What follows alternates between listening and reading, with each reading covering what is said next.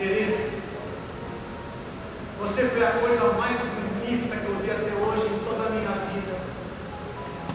Inclusive o porquinho da Índia, que me deram quando eu tinha seis anos.